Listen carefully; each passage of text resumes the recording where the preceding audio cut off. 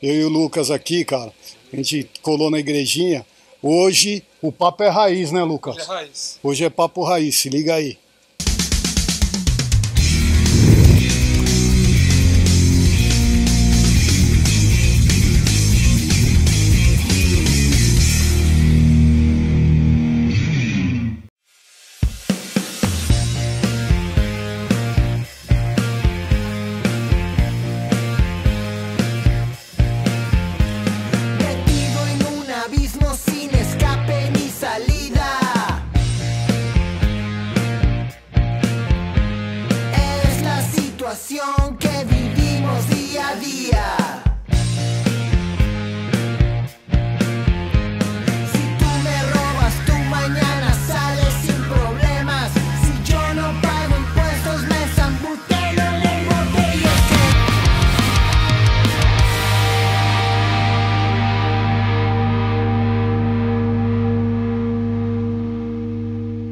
Cara, o Lucas, meu, ele tem a moto, acho que é uma das. das Dyna já é considerada a raiz, né, É Lucas? isso aí. Eu acho que a tua é, mais, é a mais raiz de todas. É a minha opinião, tá, gente?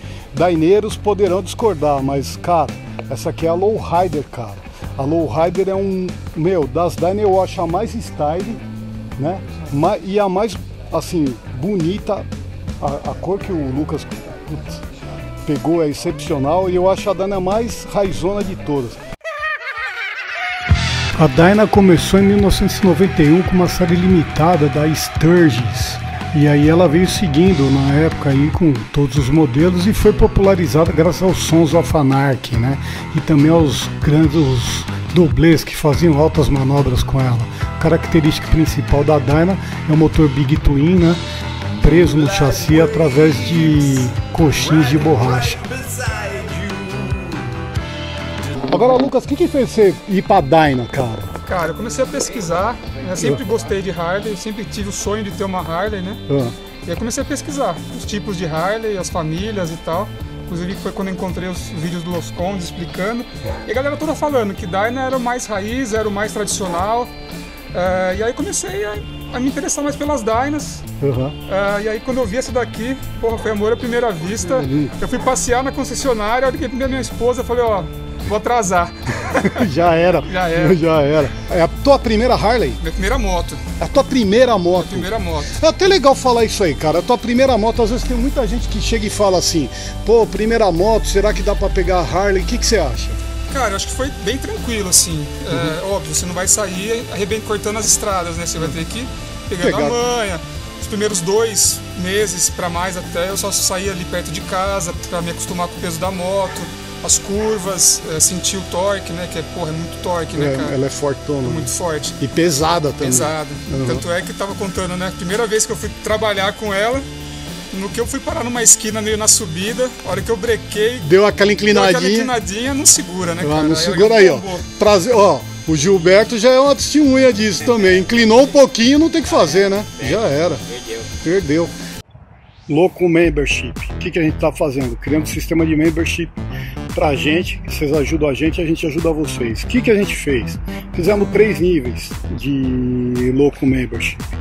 No primeiro deles, você é um, um apoiador, supporter, né, que você já vai ter acesso aos vídeos exclusivos, aos, às lives exclusivas, a van premiere de vídeo. Segundo nível, Loco Rider. O que, que é o Loco Rider? O Loco Rider, além de tudo que o, que o supporter vai ter, ele ainda vai ter acesso a um grupo exclusivo, desconto nos produtos Los Condes também. Vai ter um desconto especial em todos os produtos nossos Los Condes. E Los Condes, o louco, o cara que é louco, né? O, o louco, velho. Além de tudo isso que a gente já falou, ainda vai ter desconto em produto especial é, dos Los Condes, produtos exclusivos Los Condes para os loucos. Então vai ter camiseta exclusiva, boné exclusivo, tudo com um preço diferenciado também. E além disso, vai ter acesso a um monte de empresa que está sendo colaboradora nossa. Então, você vai ter acesso a descontos tipo na Wings Custom, no Pavilhão Custom, no Sorocaba HD, na MCL Forges, no Manzato Motos, é, uma outra empresa que a gente está fechando em Campinas, ainda não posso falar, mas provavelmente a gente fecha em Campinas. Já estão procurando parceiro também nas outras regiões do Brasil, Rio de Janeiro, Curitiba, Floripa, tudo para poder oferecer para vocês um monte de coisa. Então, quer dizer, pode não ter agora na tua região, mas vai chegar. Entendeu? Porque a gente está chegando e você que é de alguma região e quer entrar, entra também, que vale a pena. Beleza? Que a minha quando eu tombei foi guidão, foi tudo, eu gastei quase. Eu ainda, graças a Deus tinha um mata-cachorro ali, não fez tanto estrago, né? É, isso é bom pra caramba. Mas, cara, agora que eu tô. Faz- Agora vai fazer nove meses que eu tô com a moto. Ah, já pegou intimidade. Peguei a moto no mesmo dia que eu peguei a carteira de motorista. Você tá brincando. Verdade. Nunca, tinha, nunca tive moto, nunca. Tinha andado muito pouco de moto. Ah, E aí eu tirei a carta e já, já abracei. E abraçou, meu, bem pra caramba, cara. É, pessoal que tem Street, a Super Glide, que tem a, a- Eu esqueci o nome da outra que todo mundo gosta, que é as últimas das Dynamics. Sim. Custom. Não, aquela que é preta e só tem um lugar. Touch Bob, Street Bob. Street Bob, A Street Bob.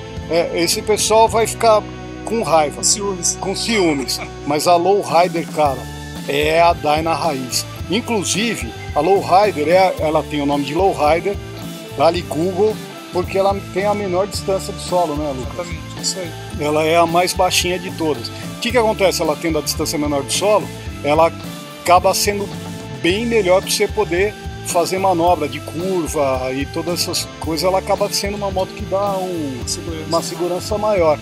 E também ela tem o estilo mais malvadão, né? Eu acho a Lowrider muito parecida com a Sturgis, que era pré-Dyna, né? Aí a gente deu um Googlezinho também, viu que a Lowrider nasceu em 77. 37. 77 foi o ano de produção da Lowrider. A Lowrider é um dos modelos da Harley Davidson que vem junto com a Super Glide sobrevivendo aí. Começou na época da FX, né? Que era o, quando fala FX, era com, quando Willie D. Davidson começou a fazer em 1970, 71, uma linha experimental, por isso que era FX, né? É Factory Experimental. Então saiu a Super Glide, a Lowrider, né? Que a gente fala direto. naked.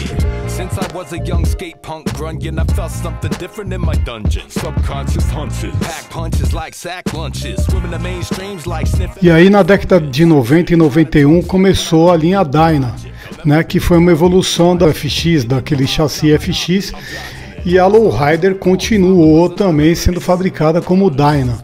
E agora acabaram a linha Dyna, né, acabou a linha Dyna e entrou a Softail e a Lowrider continua ainda como Softail. Então a Lowrider é praticamente aí um Highlander da Harley Davidson. O Brasil foi quanto tempo? Três anos? Foi uns três anos. É. Infelizmente no Brasil ela não. Por quê? Quando veio aqui a, a Harley veio pro Brasil, sempre é, o pessoal ficou muito voltado, o, o, o- a Harley do Brasil, em moto grande, maior, né? Touring e Softail. E as Dyna não foram muito valorizadas no começo pelo pessoal. E quem vinha comprar também tinha, tinha um preconceito. Queria comprar as top de linha, porque achava que era melhor e tudo. Tanto é que a Softail FX também veio, ficou pouco tempo. O nome da verdade na Softail FX É standard, né? é Standard, você lembra? A gente falou isso aí no vídeo. E ninguém queria comprar porque era Standard. E é um E a puta motão, Mo- animal, né? Raiz também. Raiz pra caramba também. E aqui, cara, tá essa raizaça aqui também. Uma cor, velho. A cor que o Lucas pegou dela é espetacular. Everton, a Lowrider das Dyna é a mais bonita, cara. Não é, cara. A mais bonita das Dyna é minha.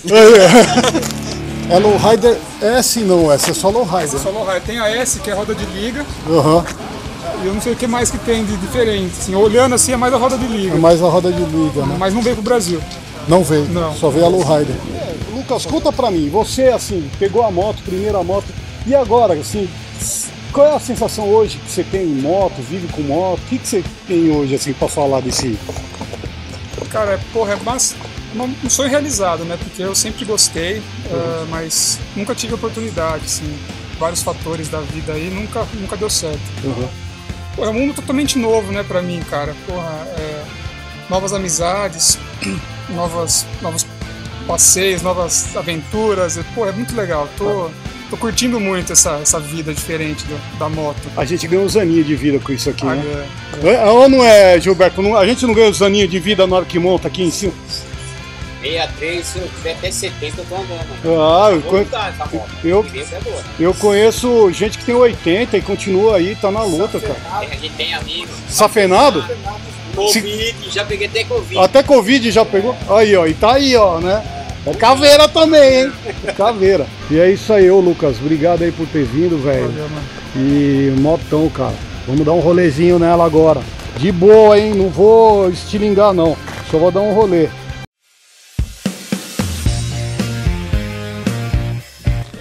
Tem que ligar a chave.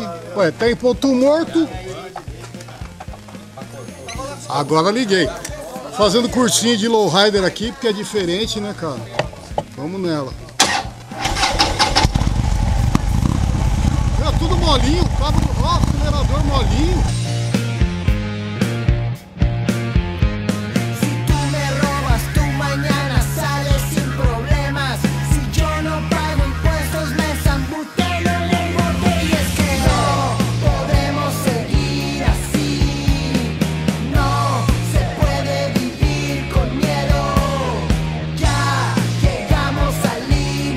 Cara, motão, ó, proíbo você de vender essa moto, cara. É nóis.